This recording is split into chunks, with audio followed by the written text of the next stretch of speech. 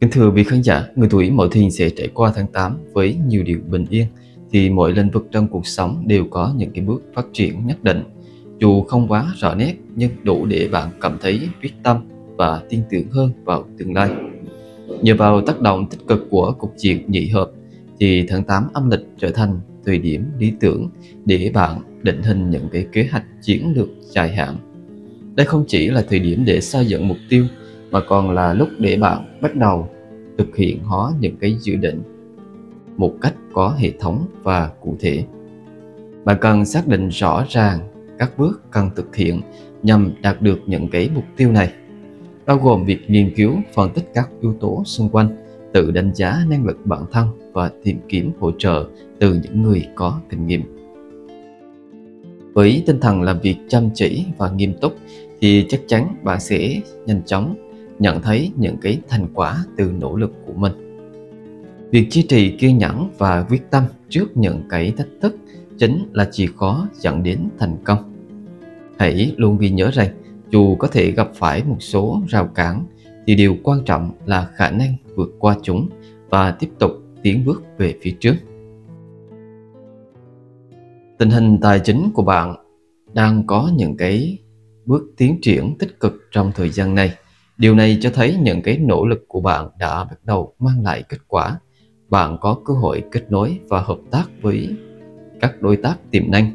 Và điều này không chỉ giúp mở rộng mạng lưới kinh doanh mà còn mở ra những cái cơ hội mới cho sự phát triển.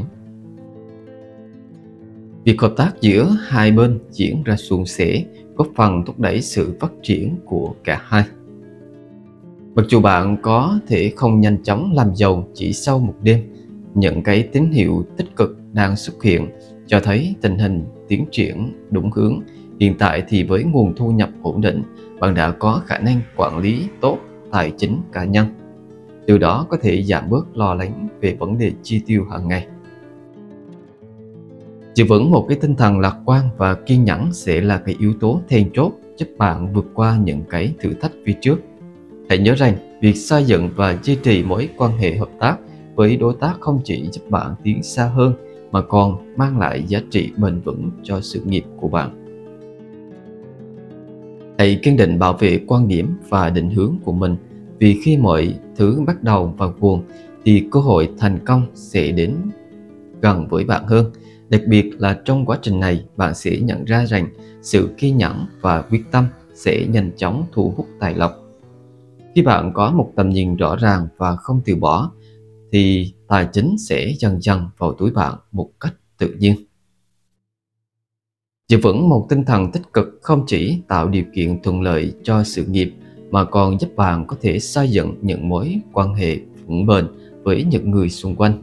Đừng quên rằng mỗi người bạn gặp đều có thể mang đến những cái giá trị mới và cái cơ hội mới.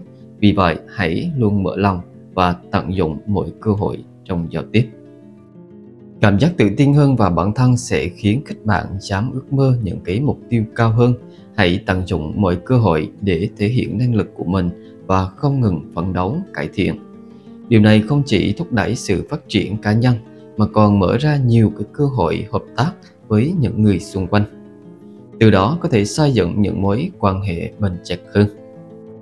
Và đây là thời điểm lý tưởng để bạn ra soát những cái điểm mạnh và những cái điểm yếu của bản thân. Việc nhận diện những cái khía cạnh tích cực sẽ giúp bạn phát huy tối đa cái khả năng trong khi nhận thức được những cái điểm cần cải thiện, sẽ mở ra con đường phát triển hợp lý hơn. Bằng cách là chú trọng vào sự phát triển cá nhân thì bạn không chỉ nâng cao kỹ năng chuyên môn, mà còn có thể gia tăng được cái khả năng làm việc nhóm. Sự tự nhận thức này sẽ kích thích sự tự tin trong quá trình hợp tác với đồng nghiệp từ đó xây dựng những mối quan hệ vững chắc và lâu dài. Hãy xem xét những cái trải nghiệm đã qua và tìm cách áp dụng chúng để phát triển. Bằng cách này, bạn sẽ tạo ra một lối đi rõ ràng hơn cho tương lai của mình. Nhận thức đúng tình hình thực tế sẽ giúp bạn tự xây dựng những cái kế hoạch chính xác và có mục tiêu rõ ràng, làm cho con đường trong tương lai của bạn trở nên tươi sáng hơn. Tháng này thì sự thành công trong công việc còn nhờ vào khả năng kết nối và hợp tác với mọi người xung quanh. Những đồng nghiệp và bạn bè cũng đã cùng nhau trao đổi ý kiến và phối hợp chặt chẽ giúp cho công việc tiến triển thuận lợi hơn dù có khó khăn như thế nào. Tuy nhiên thì do ảnh hưởng của nghiệp lệnh lâm si, đôi khi bạn có thể rơi vào trạng thái lo lắng quá mức. Bạn nên kịp thời chia sẻ và tâm sự với người khác để có thể thoát khỏi được cái tình trạng tiêu cực này. Bên cạnh đó thì việc triển khai một cái chiến lược kinh doanh linh hoạt và sáng tạo vào cái thời điểm này cũng đóng một cái vai trò rất quan trọng, nhanh chóng nắm bắt xu hướng thị trường và sự thay đổi trong nhu cầu của khách hàng sẽ giúp bạn có thể duy trì một vị thế trong môi trường cạnh tranh. Với sự nỗ lực không ngừng nghỉ thì chắc chắn bạn sẽ nhận thấy sự cải thiện rõ rệt trong doanh thu và lợi nhuận của mình. Hãy tận dụng nguồn lực hiện có bao gồm cả sự hỗ trợ từ bạn bè và đồng nghiệp để biến những cái cơ hội này thành những cái kết quả cụ thể. Sự chuẩn bị kỹ lưỡng và tư duy tích cực sẽ là chìa khóa có thể giúp bạn vượt qua các thách thức có thể xuất hiện. Cùng với sự chăm chỉ và quyết tâm, thì tháng này hứa hẹn sẽ mang lại thành công nổi bật cho bạn trong lĩnh vực kinh doanh. Đây là thời điểm lý tưởng để bạn hợp tác làm ăn và mở rộng quy mô công việc. Với sự kiên nhẫn và siêng năng thì bạn sẽ tích lũy được tài chính dồi dào và cải thiện rõ rệt chất lượng của cuộc sống. Bạn hãy tin tưởng vào cái khả năng của chính mình thì bạn không hề kém cỏi so với bất kỳ ai.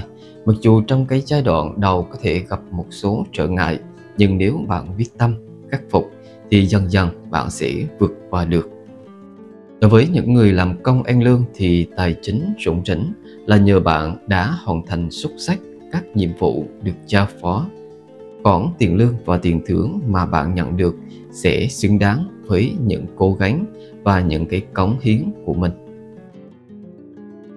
Và tuy nhiên thì tháng này không chỉ có thu nhập mà còn có nhiều cái khoản chi cần xem xét. Theo dự đoán của Tiểu Hao thì Mậu Thìn có thể sẽ chi tiêu cho các hoạt động mua sắm và giải trí.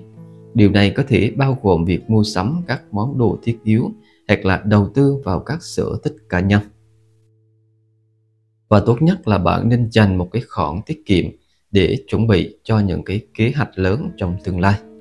Việc này không chỉ giúp bạn chủ động hơn trong việc đạt được các mục tiêu dài hạn, mà còn có thể tạo sự an tâm trong trường hợp có tình huống bất ngờ xảy ra. Một khoản tiết kiệm đề phòng có thể hỗ trợ bạn khi phải đối mặt với những cái chi phí phát sinh như là sửa chữa nhà cửa, chăm sóc sức khỏe hoặc là đầu tư vào những cái cơ hội mới. Về sức khỏe thì dưới nhiều cái khía cạnh thì cuộc sống của bạn sẽ có sự chuyển biến tích cực nhưng sức khỏe của những người tuổi mậu thìn lại có dấu hiệu suy giảm.